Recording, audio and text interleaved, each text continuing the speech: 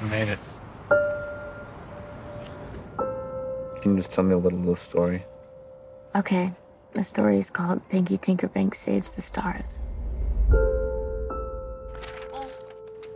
Pinky Tinkerbank and her mommy were best friends.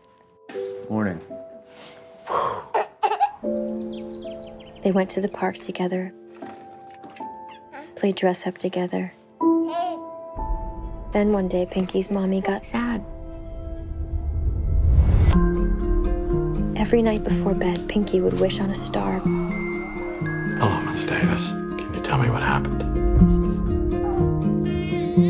But little by little, Julie, hey, it's okay. It's okay. the stars were starting to disappear from the sky. There was nothing left for her to wish upon. What if you stop loving me?